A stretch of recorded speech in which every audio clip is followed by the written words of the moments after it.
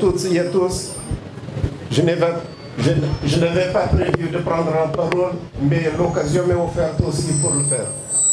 Euh, je dis que c'est une grande responsabilité qui m'échoit de prendre la parole devant Auguste Assemblée. Et je voudrais d'emblée remercier l'organisation et dire combien je suis ravi d'être là, à ma condition ici, aussi du pays plus proche du Sénégal. La distance qui nous sépare du Sénégal, c'est la même distance qui sépare Dakar de Casamance. Donc, on est très proche. Et l'histoire, l'histoire coïncidentement le nom Cap-Vert, ça vient du nom Cap-Vert du Sénégal. Donc il y a beaucoup d'affinités.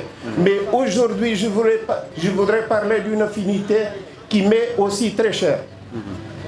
J'ai vu la cérémonie Mandanga et ça m'avait effectivement éprouvé un sentiment d'affinité.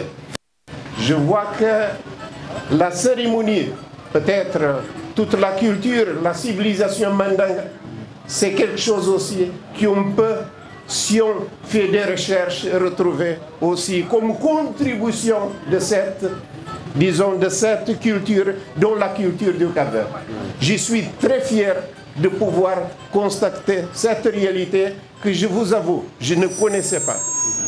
Je viens de parler avec le président, je ne sais pas si le nom c'est ça, des collectivités Mandang, qui m'a apporté beaucoup d'informations sur la culture.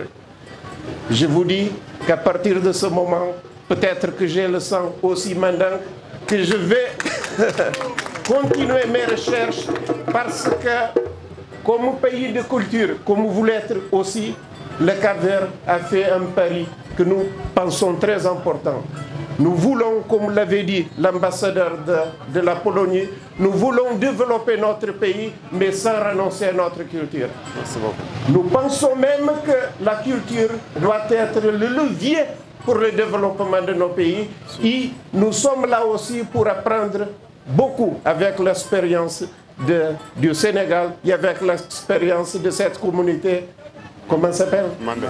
Mandang. Et aussi de cette, cette ville. D'Ambour. Donc, merci, félicitations et continuons dans la même voie. Merci, merci.